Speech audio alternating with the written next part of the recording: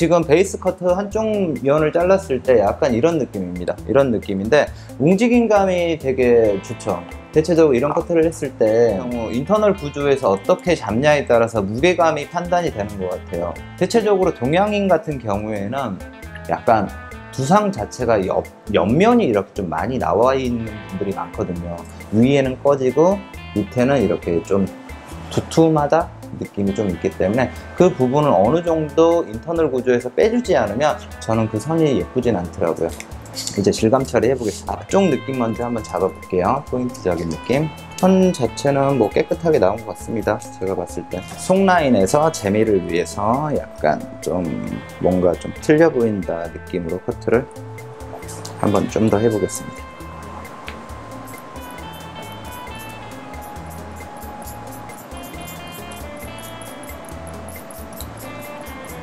저같이 패턴 잡고 치실 때 이거 좀 무서워하시는 분들이 좀 있으실 텐데요.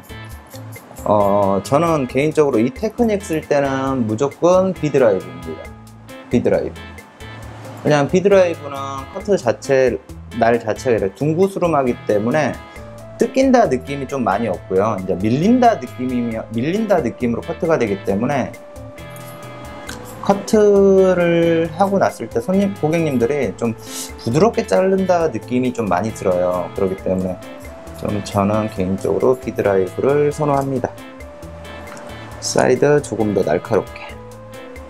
아, 구렛나루 조금 더 날카롭게 하겠습니다.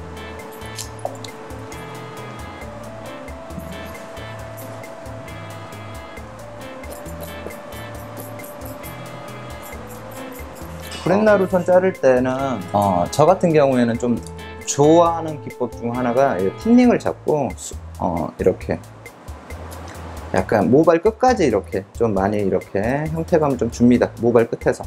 그래서 모량감, 약간 이렇게 형태감, 이렇게 라인을 다 이렇게 모양을 만들어 놨는데 이게 또 두툼하면 안 예쁘더라고요. 근데 이제 가위로 잘랐을 때 시간이 조금 걸린다 느낌의 판단이 생기시면 이렇게 조금 어, 틴닝으로 살짝 해주시면 됩니다.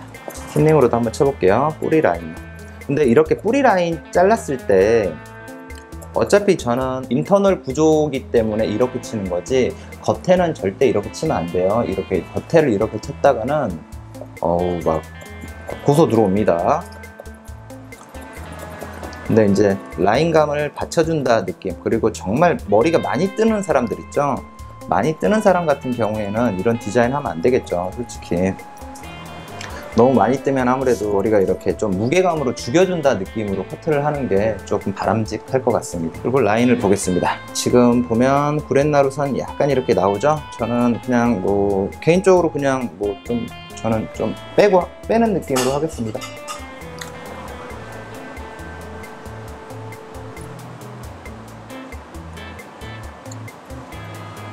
포인트니까 개인적으로 저는 이런 느낌 좋아합니다. 그러니까 뭐꼭 꼭 머리라는 게 똑같이 자를 필요는 없잖아요. 그냥 어떤 부분에서 내가 어떻게 포인트를 주느냐에 따라서 머리 느낌은 많이 틀려지기 때문에 윗라인에서도 무게감 살짝 뺄까요? 여기 끝에만 치겠습니다.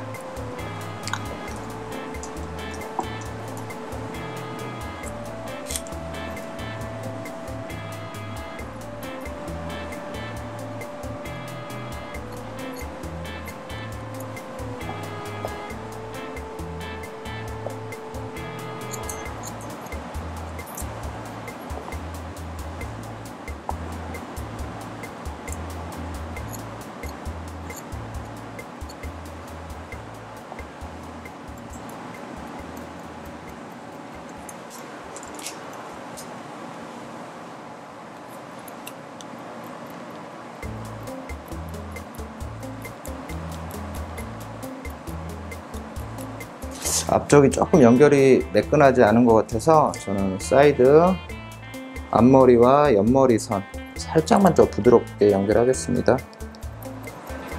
근데 여기에서는 이런 테크닉 할 때는 정말로 한 올 한 올 자른다 느낌을 해주시는 게 좋아요. 커트 하실 때는. 그래야 얼굴 선이 조금 예쁘게 떨어지더라고요 음, 오케이 그리고 사이드 살짝만 질감 처리할까요? 앞머리랑 연결되는데 앞머리 사이드 끝쪽 부분. 그리고 무게감 전반적으로 남길게요. 앞머리는 좀 전체적으로 무겁게 오늘은 앞머리 포인트니까. 앞머리와 사이드 느낌이 포인트니까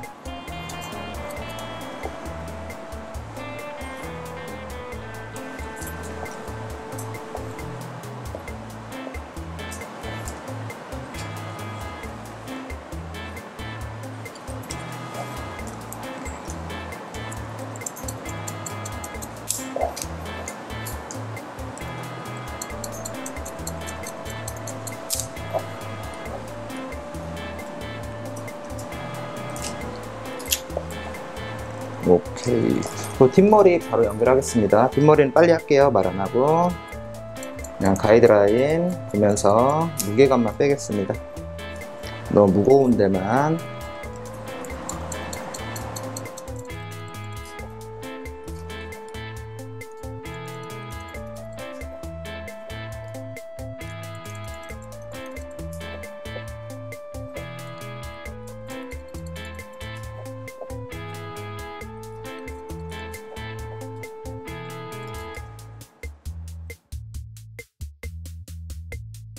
린라인은 저는 오늘은 틴닝으로 이 틴닝으로 커트하겠습니다.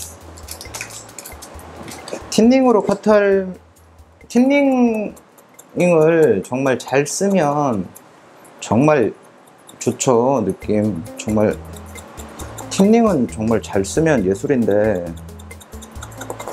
틴닝은 근데 정말 제가 봤을 땐 정말 잘 써야 될 것 같아요 그 내가 제가 저는 개인적으로 커트할 때 틴닝이 정말 무섭다고 생각하거든요. 요즘에는 솔직히 말씀드리면 틴닝이 왜 무섭다고 생각하냐면 틴닝은 이렇게 정말 생각 없이 커트 라인을 막 해놓으면 좀 선 자체가 좀 지저분하더라고요. 그 느낌이 조금 저는 개인적으로 좋진 않은데 nape 라인 자를 때는 어 이게 thinning만 한 것도 없더라고요 이렇게. 요즘에. 그냥 편안하게 저는 이런 식으로 라인을 먼저 어느 정도 없앤 다음에 가위로 라인 정리. 저는 약간 포인트적인 느낌을 살짝 줄까요?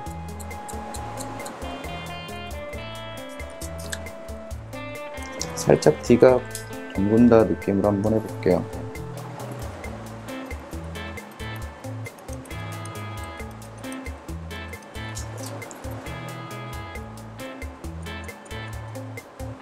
nape 자르실 때는 좀 중요한 게 좀 개인적으로 여기에서는 제가 좀 중요한 게 깨끗한 선을 내는 것도 너무 중요하잖아요. 깨끗한 선을 내는 것도 중요한데 무게감의 밸런스 보는 걸 더 중요하게 생각합니다. 저는 개인적으로 지금 보면 사이드나 이런 데는 가벼운데 여기는 좀 무겁잖아요. 이런 거는 가위로 칠 수도 있고 이런 thinning과 thinning으로도 살짝 끝에만 이렇게 포인트로 느낌의 밸런스를 맞추셔도 됩니다. 전반적으로. 자, 되게 예쁘게 나왔나? 반만 자를 거기 때문에 포인트 느낌. 네. 어, 이제 전 같은 경우에는 윗라인에서 굳이 이런 머리는 윗, 어, 이런 머리 자르셨을 때는 윗라인을 제가 좀 안 건드리는 편인데 너무 무겁다 생각하는 부분만 이런 탑에서만 살짝 무게감 조금 뺀다 느낌만 전체적인 길이는 저는 개인적으로 안 자를 것 같습니다. 전체적인 길이는 안 자르고 그냥 윗라인에서 무게감만 조금 뺀다 느낌 그래서 그냥 탠닝으로 이것도 진행하겠습니다. 이 정도만 해보겠습니다. 오늘 커트는 제가 드라이를 한번 하고 설명을 해드릴게요. 먼저 스타일은 깨끗한 느낌 스타일입니다.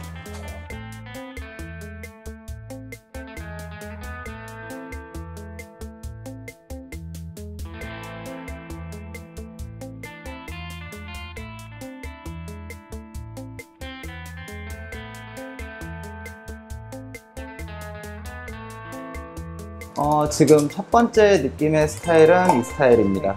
좀 보시기에 좀 깔끔하다 느낌. 형태적인 느낌으로 한번 드라이를 한번 해봤습니다. 이런 느낌입니다. 앞머리 좀 무겁고 사이드에서 좀 가볍게 떨어지는 그냥 짧은 굉장히 숏 단발적인 느낌이죠. 약간 숏 커트라기보다는 숏 단발적인 느낌. 이제 두 번째 느낌. 왜 제가 속머리를 폈는지 형태 한번 다시 보겠습니다.